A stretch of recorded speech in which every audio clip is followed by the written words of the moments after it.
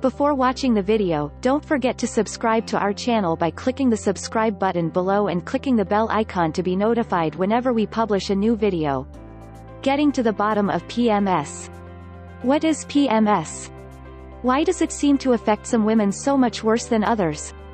Why is it that last month seemed to be a breeze, but this month is more of a bear?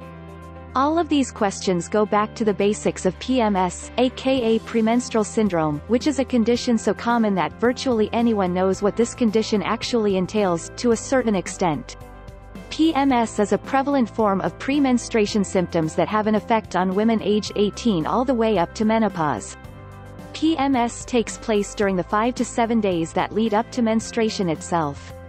Researchers have connected PMS to the alteration of the woman's hormone balance and speculate that the sudden shift leads to the erratic physical and also psychological displays of symptoms.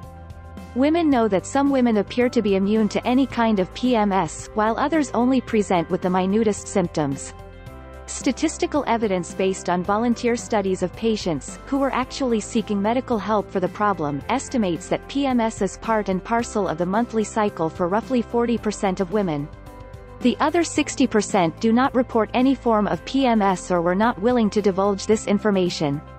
While these 40% are a serious number to consider, further research showed that in at least 10% of the confirmed PMS cases the symptoms were so severe that they interfered with a woman's ability to perform a job, function within a relationship, or even keep up with basic chores and social obligations.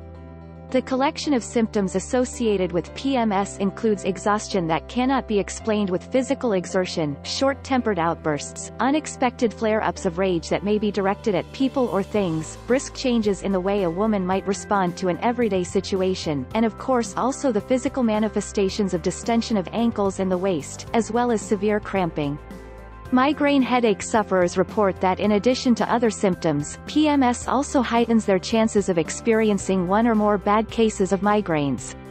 Researchers working with women, who declared they were PMS sufferers, found out that those women who quit their typical exercise regimen because of pain, discomfort, or fatigue were actually worse off than those who fought through the pain and continued to exercise.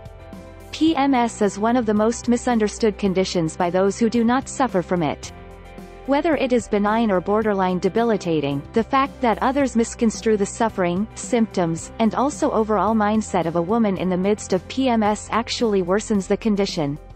This is especially true if those are individuals who are close to the sufferers, such as family members, mates, or even coworkers. Women have expressed that it is difficult to seek help when they are being joked about by friends or family members. This has actually led to the breakdown of several relationships that would normally have been dear to the sufferer. If you've liked the video give it a thumb up, leave a comment and share with your friends. We thank you so much for watching. For more nutrition, health and beauty tips, please subscribe to our channel,